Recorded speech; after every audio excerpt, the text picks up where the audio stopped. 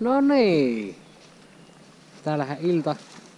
Aurinko siellä laskee ja ei saatu enempää kallaa, mutta kokemusta. Kokemusta tuli, olihan se mahtava. Se tota, ei ollut maailman suuri hauki, mutta se tuntui ihan sairaan hyvälle. Kyllä. Ja oli kaunis, kaunis kala ja tuota, se on aina kun, aina kun kala vavan päässä, niin se on vaan mukava. Mieli on levännyt. Ja se on kato sullakin niin avovesikauden ensimmäinen kala.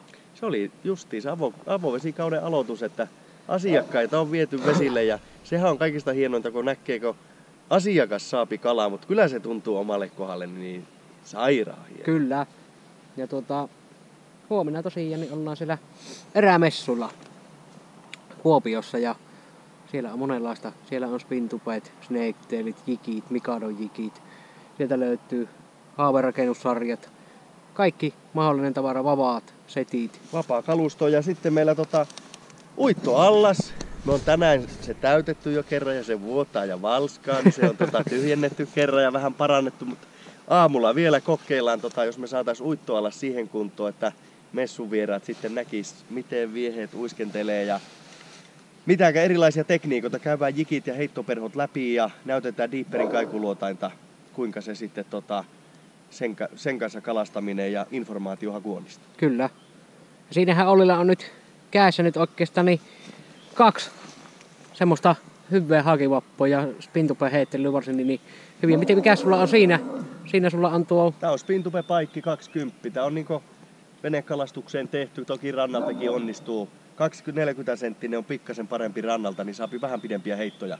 Mutta sitten tää 20 haukivapaa, niin tää sitten menee kuhajikkauksessakin. Kyllä. Että kevyt, kevyt vapaa ja hintalaatusuhdeltaan niin oikeinkin loistava. Sitten on tää Apsara uusi, eli heavy spinni 240, niin ihan älytön hauki, hauki hommi rannalta, jos kalastelee, niin tää 240, niin sopivan mittainen. Toki se vennessäkin menee. Ja tota, tää on jämäkkä ja tuota, isoille, isoille vieheille, isoille kaloille. Ja kumpi, kummassakin on sitten Blackstone. Joo, Blackstonen, Blackstonen kela, eli tässä on tota Mikadon lippulaiva kela. Siinä on viiden vuoden takuu.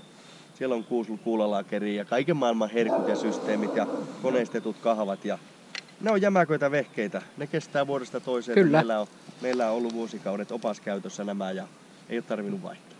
Ja tiellä sitten löytyy hikipopana tämä Nihonto TT Zander 220. Ja siinä täytyy sanoa, niin on, on tunnukas ja herkkä vapaa.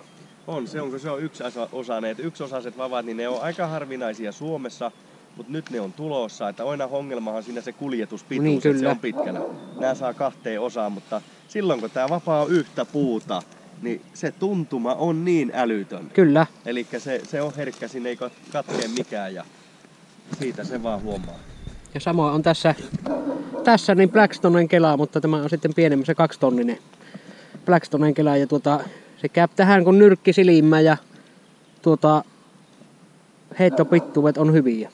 Kyllä. Että tällä, tällä kelalla, niin tuota, vaikka ei ole mikään maailman kallein kela, niin lentää ja kestää ja se on tärkeää. Hei, pistetäänkö me tota kilpailu pystyyn? No pistettä. Eli kaikki, jotka kommentoi tähän potun videoon, niin tota, jonkun hyvän kalastusaiheisen aiheisen lauseen, sanan tai mitä tahansa, niin arvotaan Spintupe Snake Taili ja pistetään tota pari muuta viehettä säkkiin ja ne voi noutaa Kuopio erämessulta viikonloppuna tai sitten myöhemmin töräytetään postiin. Mutta tämän video alapuolelle kommenttikenttä asiallinen fiksu kommentti, Niin, semmoinen kyllä. kalastusta nostattava. Se voi olla lyhyt tai mitä tahansa.